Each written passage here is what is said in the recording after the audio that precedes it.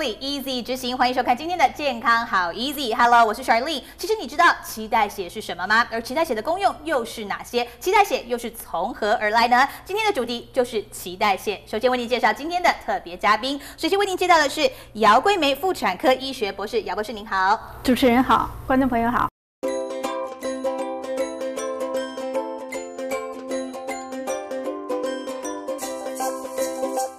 为您介绍的呢是永生脐带血的健康教育顾问，也就是 Jennifer。Jennifer 您好，主持人好，观众朋友们大家好。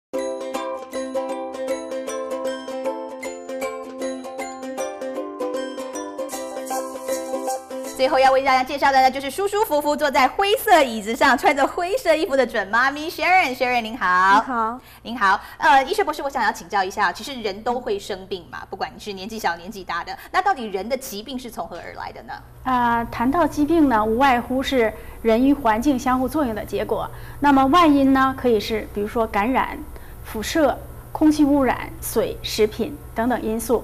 那么内在呢？人体自我调节的不平衡也会导致疾病，比如说自身免疫性疾病，呃，还有一些这呢，主要跟啊个体的遗传易感性有关。是。呃，谈到遗传呢，这是一个现在来讲是一个非常时髦的话题。现在遗传分子学的进展呢，真是一日千里。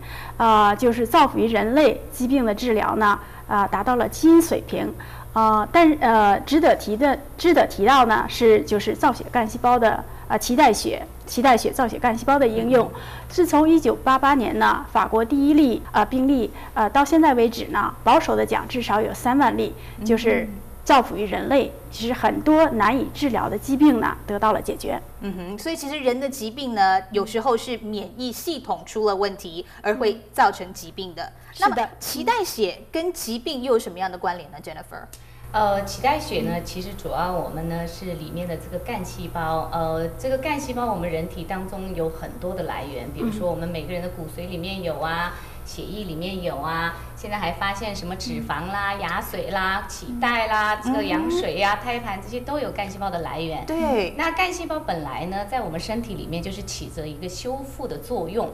比如说，有的时候你可能不小心切菜割破皮了，你的皮其实可能一两个礼拜就长回来了，对不对？对。但是因为我们本身的血液干细胞在帮我们做这个修复的动作。对，像婴儿也是一样。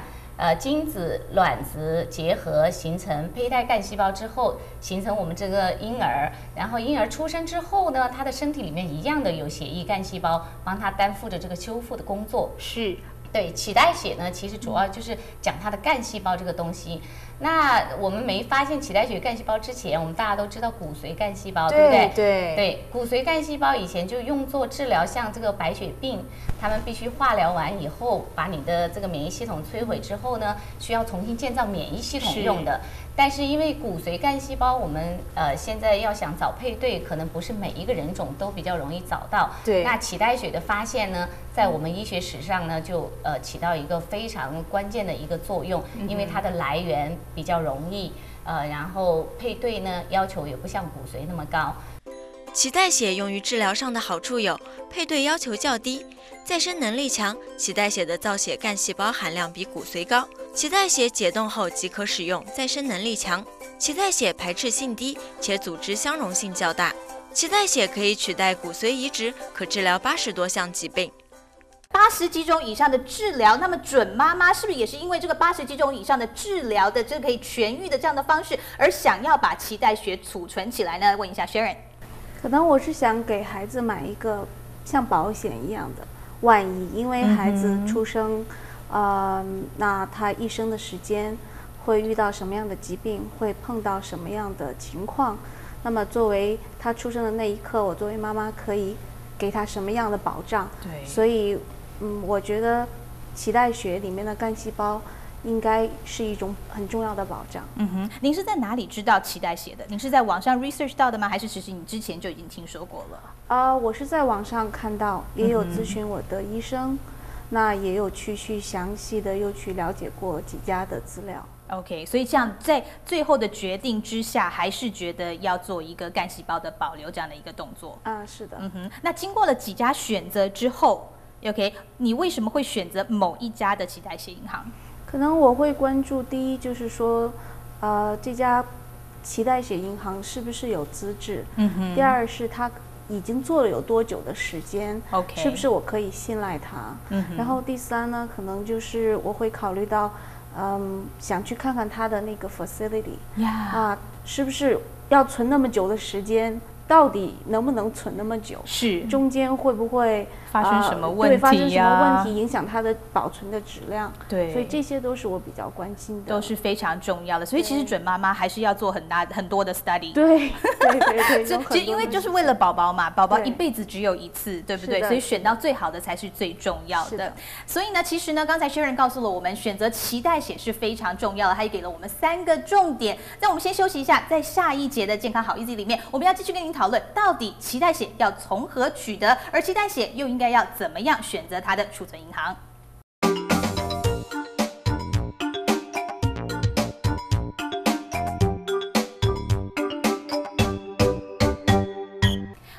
保留脐带血呢？其实宝宝呢一生只有一次的机会可以储存他的脐带血，而储存脐带血其实就像保险一样，因为脐带血的储存可以治疗八十几种以上的疾病。不过，到底应该要怎么样储存脐带血？先来请教一下 Jennifer。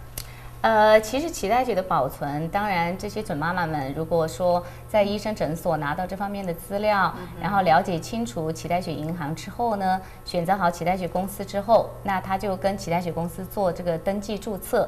注册完以后，脐带血公司都会给他一个这个收集盒，呃，所有的收集用品都在这个盒子里面。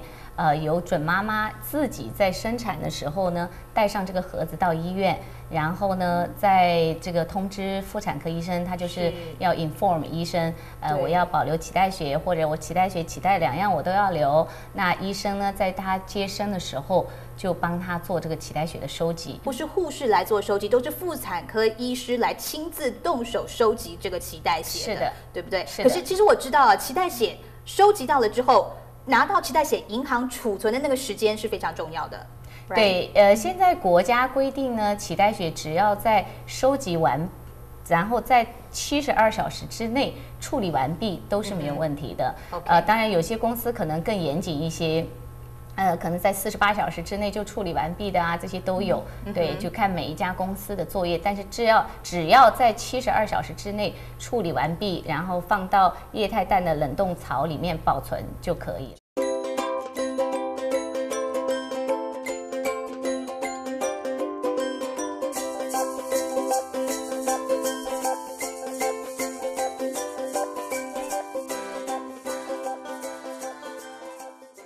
所以其实姚博士在您这么多接生经验当中，我相信拿到的脐带血应该也不在不算少。是的应该算蛮多的。对我可以再深入的请教您一下，其实脐带血，脐带不过就这一段嘛，right？、难道脐带血是整个脐带里面都是血吗？还是其实只有一小段？那取出来大概是多少 CC？又有多少 CC 是可以用的呢？嗯，啊、其实血液不仅存在在脐带里，胎盘里面也有很丰富的血管，所以它的来源呃是很丰富的。就我而言呢，我都会，如果准妈妈们决定收取脐带血的话，我都会帮他们收到至少有一百毫升以上，我觉得是没有问题的。OK 这个关键就是呃，宝宝出生以后呢，是呃，就是剪脐带的时候多靠近宝宝那一边。多靠近宝宝一边，这样就流出足够长的脐带和足够长的脐带血。可是那我还是要再请教，其实您对于脐带血的储存又了解了多少？嗯，我知道它最长可以储存八十年，嗯哼，也知道大概是从十几年前可能就开始储存了。OK，嗯，所以另外我有了解到，现在不仅是可以存脐带血，还可以存脐带。嗯，所以其实那您知道的是，其实为什么要存脐带血帮小朋友做保险，是因为如果小朋友今天有免疫性上面的天生的疾病之话，可以救小朋友，还是您想要拿小朋友的脐带血救全家人？嗯，我是有了解到，除了有一些遗传类的疾病可以用脐带血去治疗之外，其实在未来，呃，如果有孩小孩子发生一些特殊的意外的情况，就非非疾病类的，可能也可以使用到。还有，我有了解到，呃，就是基因相关的家族的这个，呃，他的兄孩小孩子的兄弟姐妹之间，甚至父母。那只要是配对是可以的，也可以使用。嗯哼，所以这样 Sharon 的观念是对的吗？医师，其实如果脐带血，小朋友不一定是小朋友可以用得到，其实小朋友的家人也有可能用得到这个脐带血，如果配对成功的话。特别是他的兄弟姐妹，这种配对的成功率比较高。一百毫升的脐带血，OK，如果今天真的是需要的话，到底可以救到小朋友、青少年，还是到大人都可以用？其实这一百毫升的血，它不仅限制的一百毫升，因为它还是可以培养和再生的。哦、o k 所以其实什么时候都可以用。对的，那保存时间就非常重要了，Jennifer。嗯 right，对我要保存，我到底应该脐带血可以保存到多久？难道真的所有的品质都不会有任何变化吗？现在医学的文献是这样讲的，它因为现在储存的最久的脐带血到今年去年底已经是二十七年，它的活性解冻之后呢，没有任何的变化。呃，所以现在医学界的这个文献上面是写说，脐带血的保存是没有失效期。哦对，所以可以永久性存。所以现在也有很多公司推出一些终身的方案，就是终终身储存的方案。是你可以选终身的方案，然后宝宝也许活到一百岁，你也只需要付这一笔钱，但是呢，哦呃，就是可以储存他的这个终身。是，所以那呃赶快又回来问到 Sharon 了。Sharon，你选的是哪一个？因为其实可以选好多种哦，因为是要帮小孩买保险嘛。如果是我的小朋友的话，我当然会觉得哦，我越买越久，保的越久，当然是对我自己的越好。您是保哪一种呢？我是保终身 OK 就是就是越久越好。那 Jennifer，终生的意思其实是小朋友的终身还是大人的终身？应该怎么算呢？小朋友的，当然，因为这是保存的脐带血，脐带血完全是孩子的，哦所以是孩子的终身。OK，所以是孩子的终身。可是，在孩子的终身当中，就是一辈子里面，只有孩子可以使用吗？还是到底有谁可以受惠呢？哦，这个呢，就是刚才姚医师讲的，要看他的基因配对情况。是当然孩子本人呢是百分之百配对，就不会产生任何的排斥，是最好的。OK 呃，特别是针对像我们现在呃医学史上现在已经开始做了一些临床，像这个脑中风啊、婴儿型脑中风啊、自闭症啊。还有脑瘫的这个孩子呢，他们这个脑神经受损了之后，可以用他们小孩自身的脐带血干细胞解冻之后，再施打回去到小孩身上。脐带血医疗用途广，脐带血含有丰富的造血干细胞，临床上可用于治疗白血病、淋巴癌、海洋性贫血、再生不良性贫血、粘多糖症及先天性免疫不全或自体免疫疾病。先利用脐带血临床试验自闭症、脑瘫、先天性脑中风、听力受损等。身上，呃，我们有这样的案子案例，就是孩子完全恢复的。本来医生已经判断小孩不会再讲话了，对但是呢，呃，一还还好，父母亲给孩子存了这个脐带血，后来就把他这个干细胞呢，在他不同的年纪的时候打回去他身体里面。呃，我们这一个案子的话，他是在两点六个月大的时候，六个月大的时候，十个月大的时候，再把这个干细胞注射回去他孩子身上。哦呃，这个小女孩现在完全是正常人一样哦，。真的，他本来是脑瘫吗？他是先婴先天性的婴儿型脑中风，哦呃他右手右脚都不像我们正常孩子这样动。OK 然后另外呢，呃，专家医生就是经过诊断之后，已经判断这个小女孩讲将来长大之后是不会讲话的，因为哦她等于是在子宫里面就受脑神经就受受损了，所以生下来以后，她妈妈就已经发现她的。这个动作不像他大的孩子那样子，因为小孩都会动来动去嘛。OK，对那她对对这个女儿就不太正常，所以当时她已经叫医院给她做检查，是。但是呢，因为在生产完以后，在医院待的时间很短，对。呃，后来再到专科 specialist 那里去做了诊断，才发现她是先天性的婴儿型脑中风。OK，呃，所以妈妈当时很绝望，想说这个女孩子生下来就是这样子的情况，怎么办？嗯，然后后来就上网呢，就查到说现在有呃一些医院是医生呢在做这些临床的实验，就是针对这一类的这个情况。然后他刚好呢运气好，是因为他们自己就留了下他女儿的脐带血，他也留了他大的孩子的脐带血。呃，现在这个医生做的这个临床呢，当然他是希望是有小孩自身的脐带血是最安全，他不会产生任何的排斥，呃，所以就用了他自身的。呃，当然兄弟姐妹之间呢，呃，脐带血呢，它的配对率呃，和我们骨髓相比较来讲的话，它有百分之七十五的机会兄弟姐妹之间都匹配能够用。OK，呃，原因其实主要是因为呢，脐带血干细胞它比较不成熟，它的辨别能力不强，不像我们骨髓干细胞都是从成人身上提取的，它就辨别能力相当强。是，所以兄弟姐妹之间呢，六个基因六个基因完全相配的比例呢，兄弟姐妹之间其实只有百分之二十五的这个几率。哦，嗯，但骨髓呢，呃，它产生的排斥就非常的强，因为它还是能辨别对方基因有跟它不同的地方。嗯但是脐带血因为它比较不成熟，所以呢它没办法辨别，因此的话呢脐带血就比较容易接受。所以脐带血我们基因上面兄弟姐妹之间，呃，如果六个基因当中只有四个配，我们甚至做过只有两个匹配的都有移植成功的。OK。对，所以就增加了我们家人兄弟姐妹之间啊和家人的这个配对率。所以刚才 Jennifer 告诉我们，其实脐带血是有非常多的用途的。脐带血呢，除了可以治疗先天性的脑中风之外，其实在骨髓里面的干细胞，还有脐带血里面的干细胞，它是两个并不同的东西哦。在下一节的健康好意思里面，我们再继续告诉你，到底骨髓干细胞还有脐带干细胞有何不同。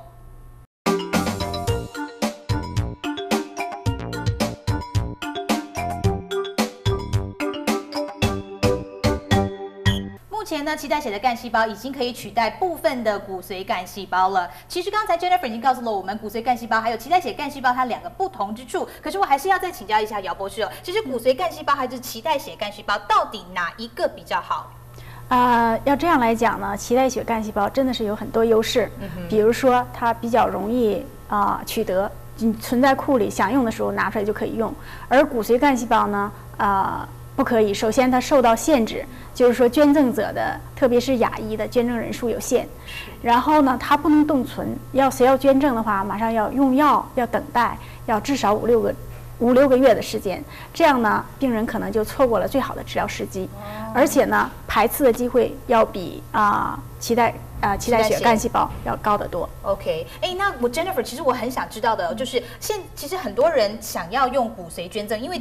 我们那个年代没有什么，你了脐带血储存，可能比较先进的时候才会有多一点脐带血储存。那需要这些治疗的时候，你当然是要到骨髓的那个配对银行去取这些脐带，不不去取这些干细胞出来，来帮助我们自身嘛。那在美国来说，亚裔的储存率。是高还是低呢？骨髓是没有办法预先保存的。现在骨髓就是说，有可能呃，现在有一些 bone marrow 的 drive 的时候呢，你可能可以想要去捐赠的人呢，你可以去做这个捐赠。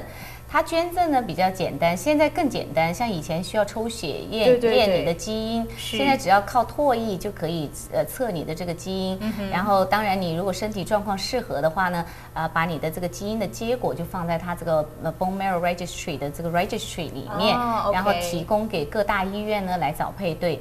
啊，如果有病人生病了，那他从他当当中去看看有没有呃是六个基因六个相配的呃这个捐赠者，如果有，这个时候才联络这个捐赠者，然后再给他吃药，然后做他的这个干细胞的生长，再到医院里面配合去做这个骨髓的这个抽取。所以骨髓是没有预先保存的，你不是说你想用，也许找到配对，你立刻就可以取出来做移植的。哇哦，所以其实骨髓它你要拿骨髓里面的干细胞是非常艰苦的，应该这么说吧？是的，right，因为都已经成人了，然后你 first of all 你要先找到配对，而且刚刚您提到的是六个。要六个都要完全，对不对？可是脐带血不需要吧？脐带血不需要，我们脐带血做过，呃，六个基因当中只有两个匹配的，也有移植成功的。所以它几率来讲的话呢，就非常的高，就又高了配对的几率的，嗯，非常高。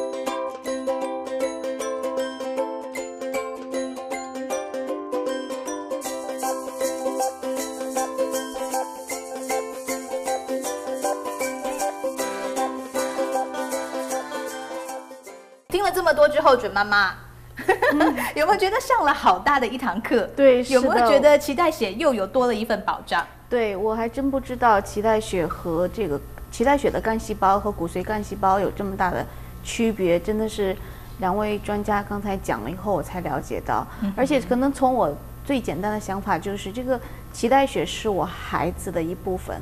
那当然，它用起来会很方便，而且是存在那里的，有需要就马上用。而不需要去求别人。对，呃，可能以前我们看过很多新闻啊、报道啊，需要发动全社会去捐这个才可以来匹配。可是我刚才听过，我就觉得这样会很安心的，有这样的保障。呀至少我觉得是一个安心的作用，因为安心呢，才可以让一个小宝宝健健康康的长大，而安心呢，也可以让一个准妈咪顺顺利利的把这个小宝宝产下来，而且是顺顺利利的把小宝宝抚养成人。最后一个问题要请教呃 Jennifer，还有就是呃医生的是，刚刚我们提到了，其实先天性的脑中风，对不对？刚刚 Jennifer 提到对，难道先天性的脑中风真的是在肚子里面是没有办法查出来的吗？啊，先天性的脑中风，那要看什么原因导致的。如果是遗传性的原因，那么比如说染色体的异常，可能还容易一些。如果是由于比如说宫内啊、缺氧啊，有一些呃环境因素啊，有的时候是不容易查出来的。比如说发现小孩儿比平常的小，那他到底会不会脑瘫呢？那只有出生以后才知道。